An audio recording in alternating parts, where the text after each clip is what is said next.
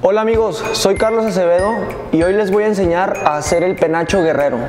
Los materiales que se necesitan son hojas de colores, tela o listón,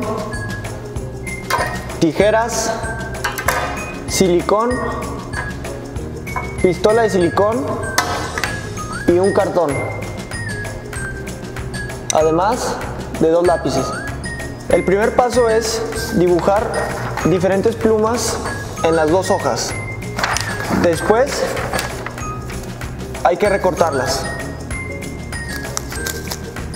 El siguiente paso es hacer unos pequeños cortes desde la orilla sin llegar hasta el centro. Con ayuda del silicón y de la pistola de silicón, pon las hojas sobre el cartón y haz el diseño que más te guste. Recorta detalles que te ayuden a completar el penacho como un accesorio.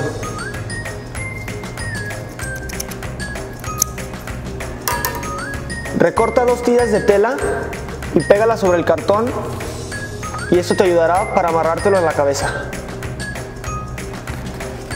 Esta misma actividad del penacho la puedes realizar con otro material, ya sea foamy o fieltro.